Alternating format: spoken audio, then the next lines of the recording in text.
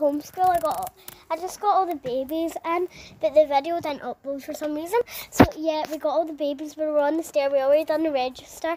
Some people are here and some people aren't, but for some reason it didn't.